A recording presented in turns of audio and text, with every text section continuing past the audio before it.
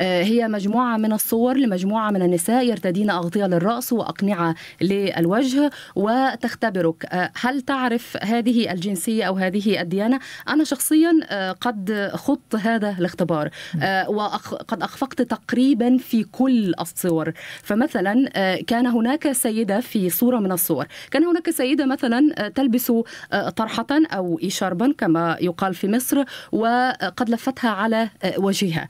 و اخترت إجابة أنها سيدة سيخية. فوجئت بالإجابة بأنها سيدة مسيحية. من باكستان.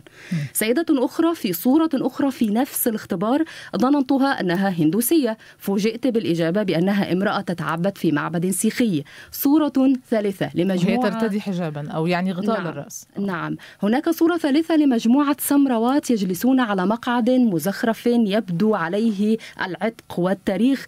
ظننتهم أنهن مسلمات. فوجئت بالإجابة بأنهن إثيوبيات من الطائفة المسيحية الأرثوذكسية.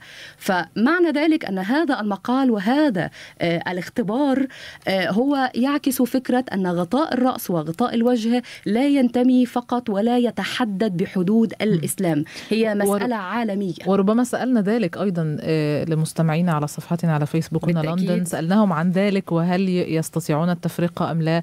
أم أنها صورة نمطية أو يعني نعم السؤال الذي كان مطروحا هو هل تعلم أن غطاء الرأس يستخدم في ديانات أخرى غير الإسلام؟ أتتنا بعض الإجابات أو التعليقات. كان هناك مثلا لي جورج الذي قال غطاء الرأس زي شرقي غير مرتبط بدين معين وإلي جورج قد اجتهد لأنه قد لجأ إلى بعض المعاجم التي أوردها في تعليقه لتعريف فكرة النقاب ولتعريف معنى غطاء الرأس.